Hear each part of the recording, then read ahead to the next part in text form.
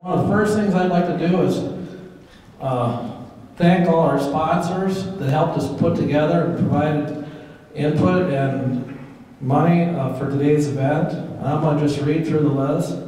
Um, South Dakota Wheat Commission, Farm Credit Services of America, Wheat Growers, Mustang Seed, Monsanto, Prairie State Seeds, Next Level Ag LLC, Millborn Seeds, Lacrosse Seeds, Dakota Best Seed, Agronomy Plus, Farmers Alliance, Mitchell, First Dakota National Bank, C&D Operations and Davidson County Implement, Scott Supply, Crop Tech, Ducks Unlimited, Aurora County Conservation District, Davidson County Conservation District, Hanson County Conservation District, uh, South Dakota No-Till Association, SDSU Extension, USDA and NRCS, and Pioneer Hybrids of DuPont. So let's give them all a welcome round of applause. Please welcome Kay Schmidt. Um, I'm going to remind you for Josh that those of you who took these and need, those by the end of the day, I took your money, but we need a thing to go with them. So, um, like Dan said, I'm Kay Schmidt. For those of you who don't know me, I grew up uh, just north of here, or just east of here, um, where South Whitlock Resort is. My sister Pat runs that now on our family ranch. Um, my mom and dad, uh, mom was Doc Nold's secretary for years in town at the vet, and my dad was a spray pilot. And I married into the uh, Schmidt family in Gettysburg. They ran the standard station there by the Catholic Church for years, and, and my husband delivered bulk fuel, and now he delivers, helps deliver feed. He runs the driveway at the CHS, what used to be CC Bar feed in town. So, uh, been here a long time, and I know some of you, and don't know some of you. So, um, when Danny asked me to talk, he said specifically about NAP and covers because we were dealing with some Austrian peas and some full season cover crops. Um, but I also said we do have some livestock programs available through the office that not everybody's aware of too. So I'm going to hit the highlights. I've got handouts that cover everything in detail and I did give you handouts in case technology is always spotty at best. So I'm going to talk. I'm not going to read you these slides, but I'll talk fast. So first up is NAP which is our non-insurance crop disaster. It works pretty much just like federal crop insurance does. Uh, basically, you get what you pay for. CAT coverage at 50% of the approved yield and 55% of the price is $250 per crop. Um, you, for 250 you can cover all of your pasture. Not very much, but it, if you pay it once, it's probably going to cover your $250 premium for the next 10 years. Um, currently we have 17 crops with 39 different types or intended uses. We are in the process of adding the cover crops with vegetables for this year. Um, we added Austrian peas last year. Um, all it takes is if there is something that your crop insurance doesn't feel comfortable carrying, come talk to us. We'll see what we can get, get added in. Um, so buy-up is available if it's not for grazing, and that works exactly like crop insurance as well. 100% of the price, and you can buy up to from 50 to 65% of uh, the yield. Uh, we don't have anyone yet that's used the buy-up feature because most of our policies are currently just grass, but we're willing to work with you on that. Um, if you are a beginning farmer, limited, limited resource producer, or a uh, socially disadvantaged person, the first $250 is waived altogether, and your buy-up is 50% cost. Um, there is a tool that lets you self-certify whether or not you're a limited resource and rancher. Beginning farmer is usually anyone who has farmed less than 10 years. Um, and you do have to certify that every year. Uh, gender or race, socially disadvantaged, obviously, once you're a woman, you're always a woman. You fill that out once. well, I shouldn't say that. Not anymore. Anything can happen. Anything can happen, yes. so, whoops. Um, the causes of loss on NAP, pretty much anything you can think of. Uh, most of ours have been paid, uh, paid on drought. We did pay, um, you can insure your um, sorghum or your millet hay, and we have had paid some uh, due to untimely rains during the planting season. For that, we have paid PP as well. Um, insect or disease can't be on its own, but if heat causes the anthrax or the wet weather, the heat causes something else, um, then it is a, a, an affecting fat. So, in 2016, Potter County paid $13,446 on forage losses under our NAP policies. Um, right now, we're waiting. The state committee has to concur on our grazing losses, and we do have some of those. So, Okay, then if you have a, if you have a loss from your, on your forage, then we just contact you and then you get the adjuster out, is that just like crop insurance? just like crop insurance, if you're going to hay it, and you, you know your APH is two ton an acre, you come in and say I baled everything I had, I got six quarters of it, you know, three quarters of a ton. Okay. So if you are not going to hay anything, then yes, we do need to adjust it. And we do have loss adjusters, and actually they're usually the same people. Um, Dwight Husted, he, do, he adjusts crop insurance, he does NAP. So they're located throughout the state. Um, eligible producers, basically anybody that has a share or a risk in the crop, and here's the important part, you have a 578 on file. You have to report your grasses to us. That's, a, that's kind of new for some of my just ranchers, um, and we report that in the fall. Uh, November 15th was the deadline, but we can take a late filed anytime you come in. So, um, let's see. The coverage period, basically, when you start, when you 30 days after you pay your NAP fee till the end, other than grazing, of course, that's our normal grazing season in Potter County, May 1st through October 31st. The basic things to remember to stay eligible for NAP. We use your yields just like crop insurance. You need to be the next one. There you go. Um, so if you don't report your production to us, you get a zero for that year. Zero yield takes a long time in a 10-year APH to get rid of. So if you're not going to hay it, you're not going to harvest it, let us know. We'll appraise it. Um, if you file a loss in Potter County, that's or in the county happens to be a disaster yield or year, uh, de- declared disaster, we are uh, authorized to use um, 65% of T. Right now, most of our hay is at 1.97 ton per acre for a T yield, so you won't have to take a complete zero even if it is a if it's a disaster year and you have a low yield, but not enough for a loss. So that helps too. But do report your production to us, and it is required. Um, when you file a notice of loss, it's when you first notice it. Obviously, for PP, it would be the 15 days after the final plant date. Uh, for grazing, little hit and miss. You know, does it look like? Well, in June of this year, our grass kind of looked like it wasn't going to make it. We had a lot of people file. And then it was like, well, we got that rain. Well, I think I'm going to be okay. So it's better to file the loss and not need it than not to have it. And if you file a loss, your um, loss adjuster, you have no cost to you whatsoever. So that helps too. Um, how we pay a grazing loss, if you have a forage policy, we use your exact production. You have a 25% loss on your hay, you're going to get a 25% loss on your pasture. You have a 68% loss, you'll get the same. If you don't hay anything or you don't have a forage policy, if we can find a couple farms around you that have hay policies, we're allowed to use those as well. If not, then it gets a little tricky. I go to NRCS. Juanita was out, where's she at? Was out earlier um, this spring and did a couple assessments for us. And Kelly, I know you've done them in the past for us as well. Well, that's what I was gonna ask, Mm-hmm. like, why Husted, if he's done a couple adjustments, why not use that document? And we can, but one of them has to be an NRCS grazing specialist. That's how our state committee set it up. Yep, yep. So is it, is it, uh, allowable to do adjusters? Is it, I mean, like when they adjust a house, you have to have two appraisals for the house and go on. Those guys collaborating, on this one is And actually, we've never had them be that far off before. I mean, our loss adjuster was pretty close to what Juanita and Isaac came up with too. And honestly, the hay production kind of supported that. It, I've never had them where they're way off, Okay. at least in Potter County. Those are ones, I mean, we don't do them every year, No, four or five years, right.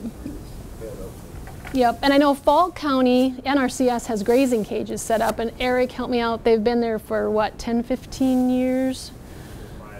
Yep, and Eric, when he was our acting DC, was kind of, when we get a DC in Potter County, we're going to hopefully try to get some of those set up too, so then you'll have a good county-wide Well, I've always encouraged that, since I've been, been here, especially for producers, you can do it yourself, and you have your own records, you know what your production on your pastures are, year in and year out. So when you do have a bad year, you have something to compare it to. Because other than that, we get to averages, and, you know, a lot of times the rain is sporadic within the county. You've got, the biggest thing that, that, that- that allows grass to grow is how it was managed the year before, before it was even the drought. So management has a huge impact on, on the amount of vegetation going in there, and then after the drought, and then, so there's a lot of things.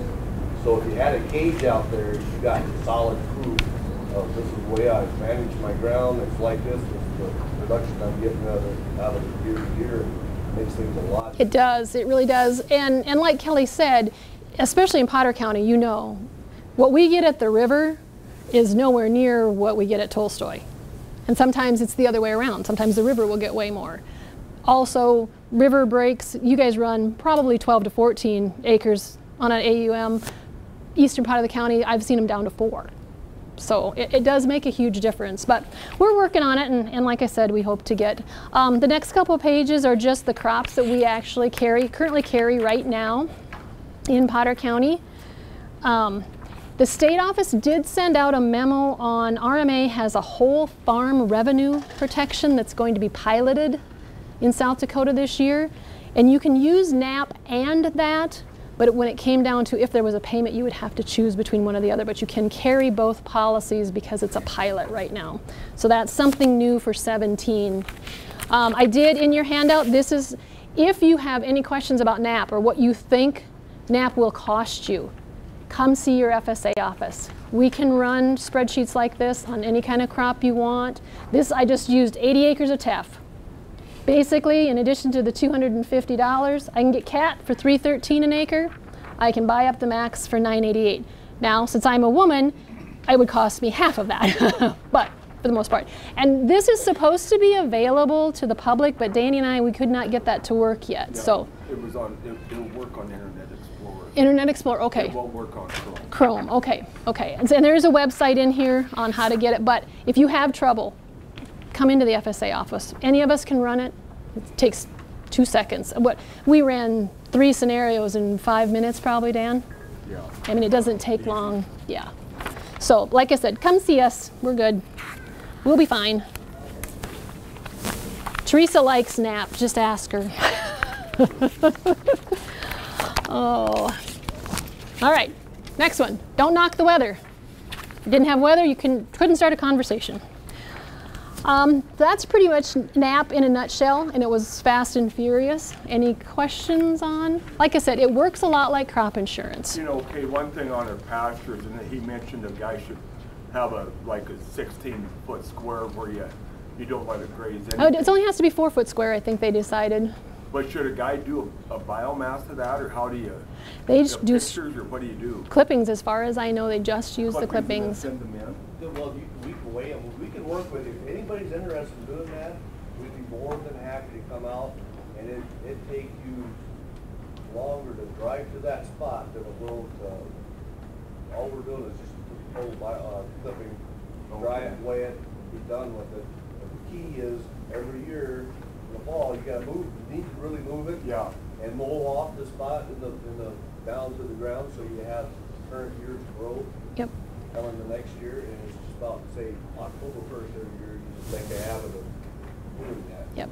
And they did say, um, I know I talked to different people from NRCS, and it kind of depends. Some people just use the stockade panels, but if you've got rat, they said rabbits will really play. They like to get in that nice green grass that nobody grazes, so some of them will use the hog panels where it's smaller on the bottom. So, There's all kinds of, we're not doing this for a scientific research project. Yep. We're just doing it for a rough, good estimate of how much production you're receiving off the range. yeah. And I did talk to the new FFA, the ag teacher, and he said, you know, if we had some specs, he would not be opposed to just having the kids build some if anybody wanted to use them.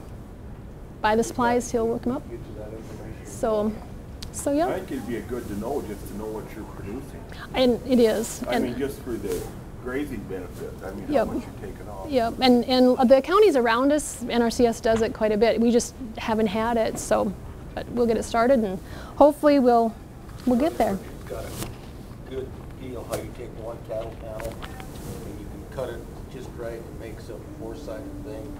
And with, then he puts his rain gauge on it. Oh, He- okay. He, he has a rain gauge and he said if you put in eighteen cc's of automatic transmission fluid. Now, I don't know why it has to be automatic transmission fluid. And then you can leave it out there all year and the water of course goes through the oil, the oil floats on top. So you can read it once a year and you'll know what you got all year because you don't evaporate. That's a good number. And I know some, I know Monty puts his on wheels, uh, lawnmower wheels. He Just wheels it around the next place, so I think you'd have to stake them down so the cattle didn't rub them, but I don't know. That's why we have the NRCS offices. Um, next up would be, uh, this is a pasture uh, program we have as well, Livestock Forage Disaster Program. We paid this in Potter County in 2012 and 13. It has to be extremely dry before this will kick in. Um, you can have NAP and this, um, but you'll- again, you'll have to choose between the payments, and let me tell you, there's not a big choice. You will take the LFP payments in a heartbeat. Um, but like I said, it takes you to be a qualifying drought, and I've listed on the next page is the five stages. Um, D0 and D1 do not count. Um, and in, as dry as it was this year, we were never over a D1 in Potter County. The nice thing about this program is if one part of the county is it, the entire county gets the program. It does not have to be the whole county for this. So, like I said, we paid it in 12 and 13, and, and we haven't paid it since. So. Eligible livestock, pretty much everything you can have. You can't count the deer though, unless they're tame and is part of your commercial product. Um, as far as recreational livestock, that would be up to each individual committee. I can tell you right now, my Potter County committee feels that if you've got horses, you're using them because why else would you be feeding them? So we've paid, I know, they're hay burners. I've never rolled one down a hill though, so. Um, but that is an individual county committee call as far as what would be recreational. Uh, you know, I, I was going to give Corey a bad time because I know Corey and Casey rope, but I also know they use their horses for everything else too. So uh, there again, you can't use the wild free roaming deer to count, but we've paid on pretty much everything else. Um, you do have to own or lease them 60 days before the drought period starts. Um, if you run them on an animal unit basis, uh, the, there is a form because you wouldn't be you wouldn't have certified that grass to us at the office, but there is a form that the person who does have the grass would sign and say yes, they run these on an animal unit basis. They're responsible for fences, watering, however the agreement is, and then that will that will help you out. Again, file the grazing report. Um, these are the payments for six, what 16 would have been if they paid. 17 has not been job. Next page. Anyway, 17 haven't been released. the, the thing to remember about this program is if you had to sell down because of the drought, you, we will pay you for two more years on the animals that you would have kept had you had the grass, which is a nice project because management is a, a huge deal. I didn't keep 700 head, I could only feed 500. Well, that's, that's a good thing. So we're not going to penalize you for being a good management manager. So that helps too. Um, that one, having grown up with a dad who didn't believe in even come-alongs, I liked this one. I always thought that's why my dad had children to open gates and throw hay bales. So. And pick, no, we didn't have to pick rocks. we had cows. We, they didn't care. um, LIP, Livestock Indemnity Program. This one, a lot of people don't seem to know about, but it's a very good program. It pays on excess of normal mortality rates for weather-related livestock deaths. And you talk about rain on Christmas Eve, let me tell you, there were weather-related livestock deaths in a hurry. Um, we have some still in January. That snow come on top of the ice. Now they fall down, they break a leg, they can't get up. That's weather-related. South Dakota, you know, it's not going to pay. Although in 16, I had one of my county committee persons tell me, well, they're, they're worth more dead than they are when I sell them. So, but they're an average. It's a rolling Olympic value price that they use on it, uh, current market value. Um, excess of mortality is uh, in 2016 we paid out $7,553 under this program, and we're just starting 16. So, and we do have some applications in on that. Um, normal mortality is uh, 5% for your calves and one and a half for uh, cows and bulls. Um, and a lot of whatever, what, what most of our people do that use this program is normally you are doing financial statements or renewals beginning of the year. You've got a balance sheet, you've got your taxes, your depreciation schedules. I just need a beginning inventory. Then if something dies, call me, text me, email me. We just keep a running tally. If it happens to be weather related, we'll say we called on the phone call.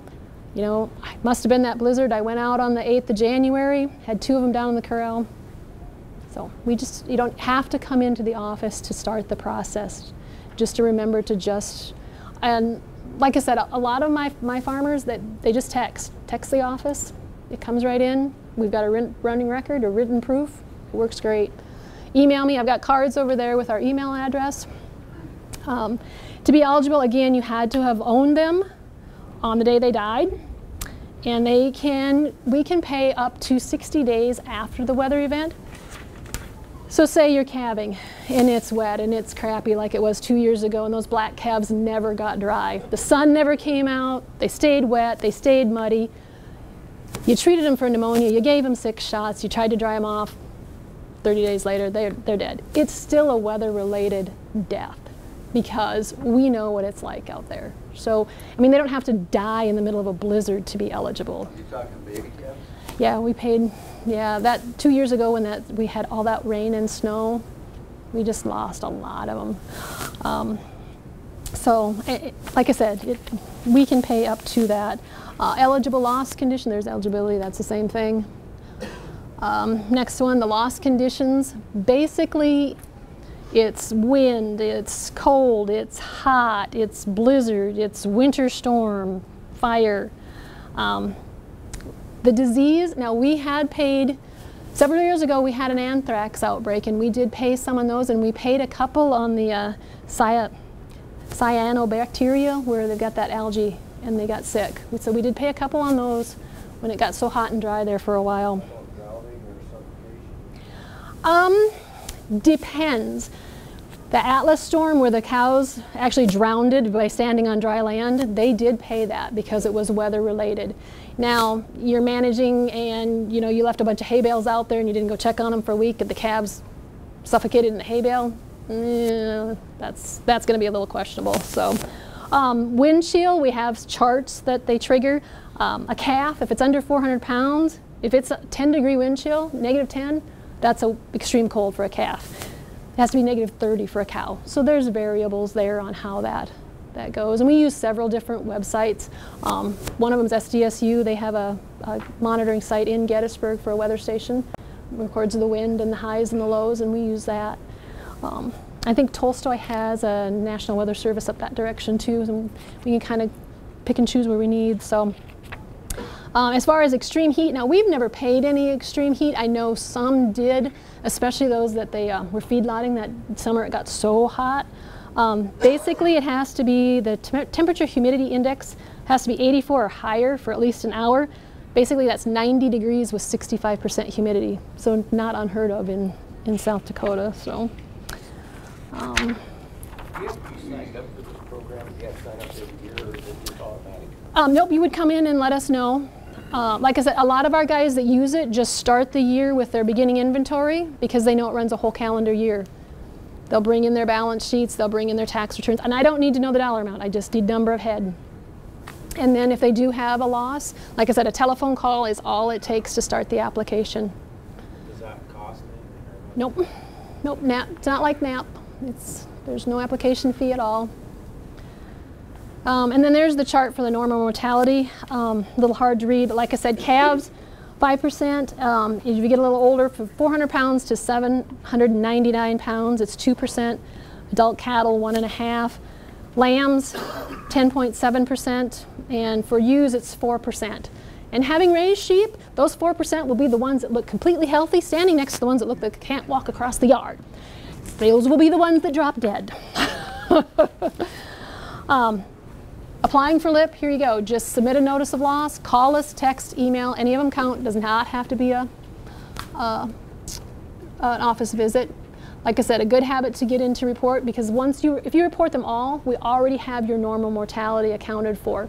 Now you can wait until the first weather event and, and bring us your books and we'll back it up from there. But like I said, it's, it's just as easy to start in January and work your way through.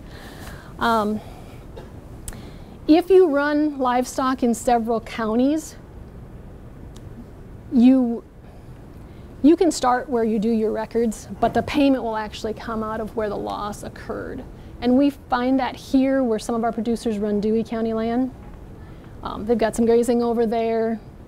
That might be drier, that might be a lightning strike over there. We'll start the paperwork for you, but the payment will actually come out of the Dewey County. Um, especially if they're, like if you're running shares. Uh, same I heard down in Corson County. I run those on two-thirds share. But my, my land I have got here, I run my, my whole herd. I don't have to count the beginning inventory of all of my livestock. Those share cattle down there are beginning inventory all on their own. They don't get mixed in with mine. They don't run the same grass as mine.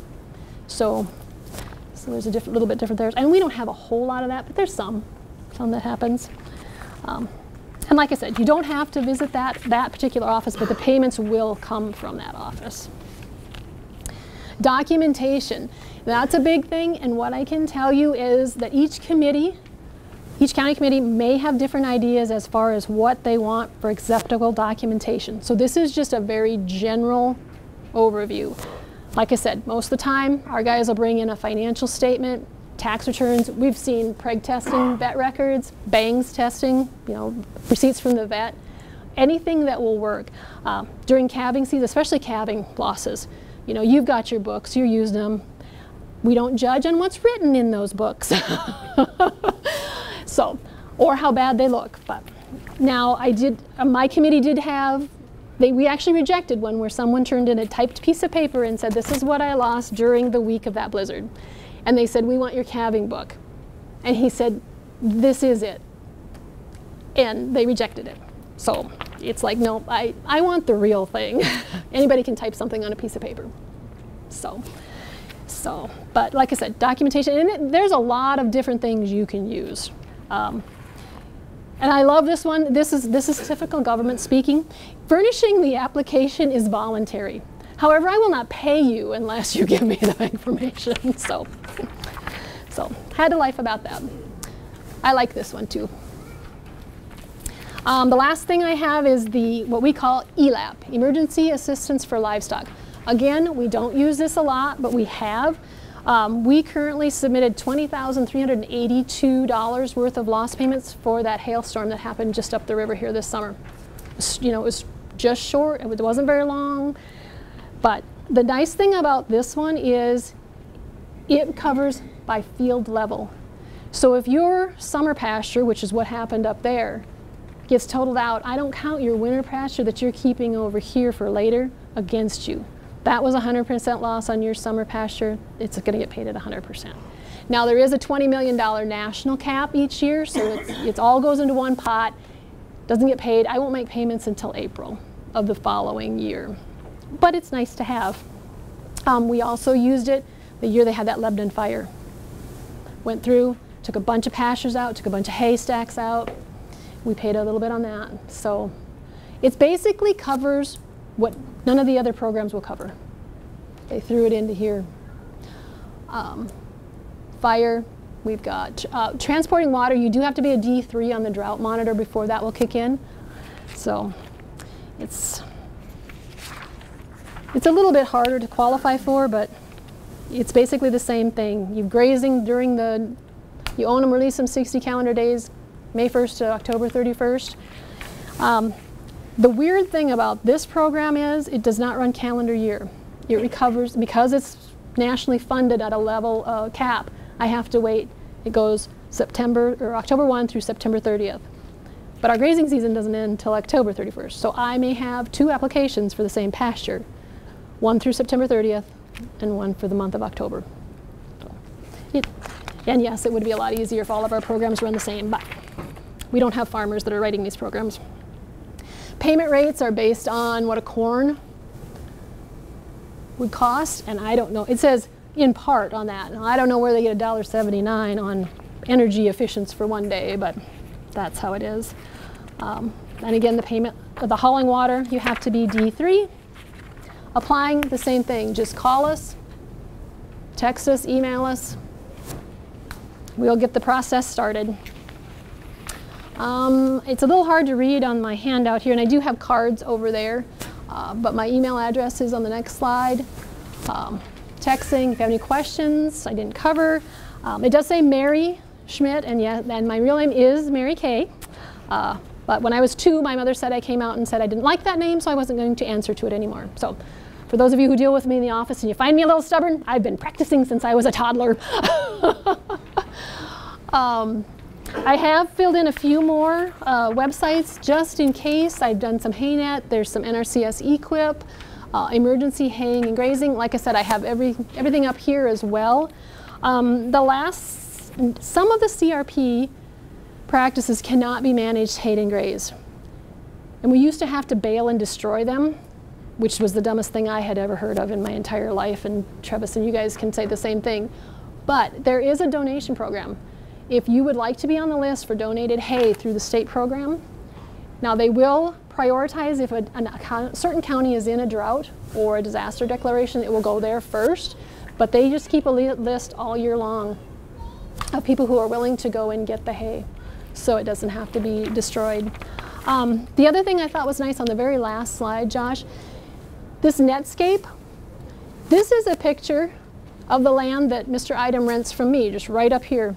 This is 160 acres of spring wheat in 2016. This is a grass draw that runs through there. This happens to be a little triangle of wheat that they planted next to it, but you can go in on any place in South Dakota, it doesn't matter if it's your farm or not, this will have historical, what's planted, what it looks like, the rotations. It's, it's a nice little program to have, uh, especially when crop leases turn over more often than they used to nowadays. Privacy Act, you can't always get information. If you have the legal, you'd at least have an idea of what was maybe planted there in previous years. Um, so I thought that was kind of fun. Um, also, the ARC program, for those of you who have crops, please stop into the office, your local office, and sign up before you get into the field.